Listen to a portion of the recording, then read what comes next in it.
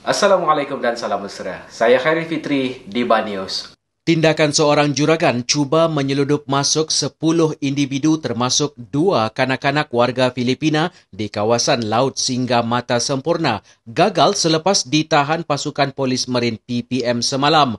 Semua suspek yang dipercayai datang dari Bongau Filipina ditahan unit gempur marin bersama anggota bot tempur PPM Sempurna melalui Ops Gelora Khas jam 12 tengah hari. Komander PPM Wilayah 4 Sabah, Assistant Commissioner Perdana Muhammad Pajari Ali berkata bertindak atas unit risikan Marin URM sepasukan PPM sempurna menahan sebuah bot jenis tempel dipercayai datang dari Bongau, Filipina. Menurutnya hasil pemeriksaan ke atas bot yang dipandu seorang lelaki yang juga juragan bot itu didapati membawa seramai lima lelaki dan tiga wanita dewasa beserta dua kanak-kanak perempuan dipercayai dari Bongau Filipina untuk kesempurna. Soal siasat ke atas penumpang itu, mereka mengaku dikenakan sejumlah bayaran dengan anggaran lebih kurang 2,500 peso atau 134 ringgit bagi setiap satu kepala untuk perjalanan perjalanan dari Bongau, Filipina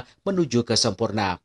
Muhammad Pajari berkata juragan berumur 40 tahun yang berasal dari Bongau, Filipina bersama lelaki berumur 20 tahun iaitu pembantu kepada juragan ditahan untuk siasatan lanjut. Pasukan PPM sempurna turut merampas tiga unit enjin pump dianggarkan bernilai RM10,000.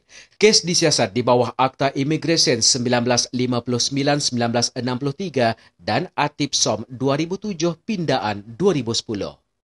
Untuk berita dan info terkini, like dan share video ini.